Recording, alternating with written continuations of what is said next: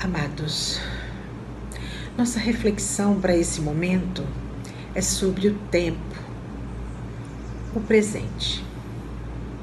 Quando estamos focados no presente, nós temos uma percepção mais profunda sobre nós mesmos e estamos em um alinhamento com a verdade universal, que é a verdade que transita através de todos nós na sustentação do plano divino.